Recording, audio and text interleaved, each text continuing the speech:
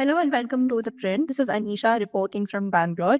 So it might seem like I'm standing in a simple one room in a residential complex, but it is within these simple one room offices where some new and rising ag tech startups in Bangalore are coming up with the best kind of innovations for farmers.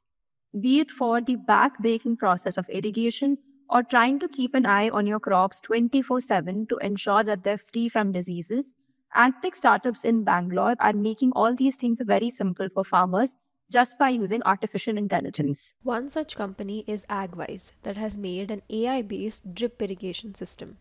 This medium sized device, equipped with sensors to monitor soil moisture and temperature, automates irrigation by providing water only when necessary. Around 15 to 20,000 farmers use this device currently across the country. The way that we work is we take data from the IoT sensors.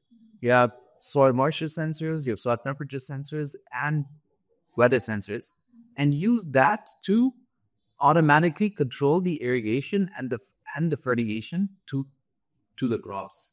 Despite the benefits of the device, which the company claims will save about 40 to 70% water and 50% fertilizer use, its adoption hasn't been easy.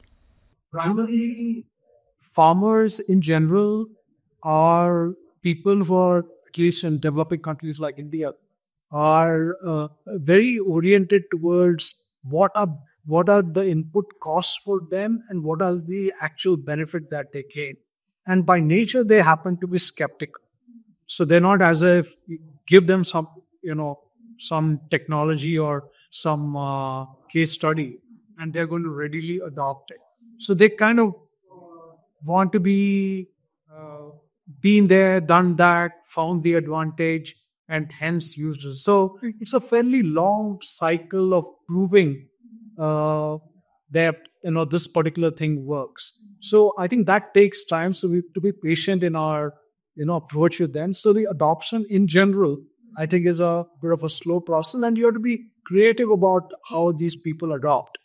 And uh, it's a trust issue as well. And we would have to go meet with farmers. We would have to do trials with farmers, uh, and then once they saw the benefits, then you would start to see uh, the adoption happen.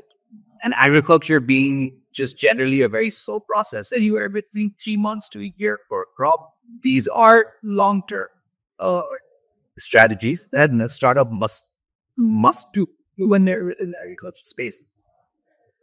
But now you're seeing a lot more, uh, uh, a lot more familiarity when it comes to these advanced technologies amongst farmers. Another startup, Fyllo, wanted to solve the problem of surprise disease attacks that destroy crops. On input side, uh, one problem that we had been facing uh, in our uh, uh childhood and until people face is uh, they're not able to get the yield that that could come out of the, farm, right? And now with the recent climate thing, these problems are increasing. So no farmer is today competent on the yield that he's going to get and more on the quality side of it. So, uh, for example, he shown today in happened the after to he show right, uh, and then uh, the produce is ready, and suddenly one disease attack comes and then uh, it's for produces. So one way to see the uncertainties, mean, the the friends we used to play back at home, we were fortunate enough to get footage. Some like he came from there, but most of them could not get and even after having two, three acres of land, three acres, four acres of land, since the yield is not certain, so that's how the income is not certain. Uh, they are forced to do the factory jobs, getting 8,000, 10,000 rupees a month, just that the 10,000 rupees a month is certain income that they have. Their devices, called Nero and Kairo, change the way farmers do farming. The devices use AI to analyze real time data of crops and predict the diseases that crops are at risk for well before its onset. The data is then provided to the farmers through an interconnected app. Uncertainty has now been changed to accuracy. Across India, around 10,000 farmers are using Fyllo's AI sensors.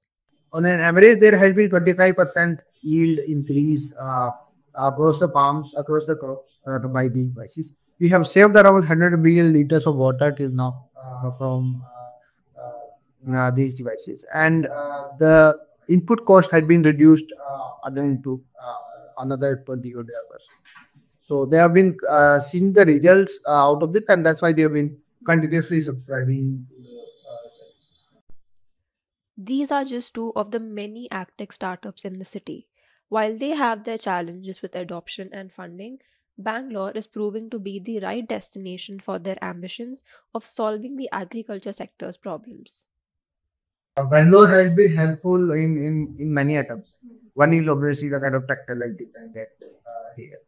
The whole environment of startups and, and investors and VCs and and uh, the kind of product that you can build very fast, right? You have, uh, for example, we are into IoT, so we have to continuously make our IoT product better. We have to try out new things, try out new uh, uh, chips, for example, or uh, we have to try out new AI models, right? So you you should have people, you should have the infrastructure and everything available around for that.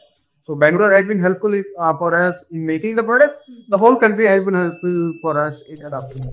But this is just the beginning. As climate change intensifies, these startups are now focusing on creating much more innovative devices, along with ensuring that they're affordable for a large section of farmers. Thank you for watching this video. For more such reports, stay tuned to The Print and do subscribe to us on our YouTube channel.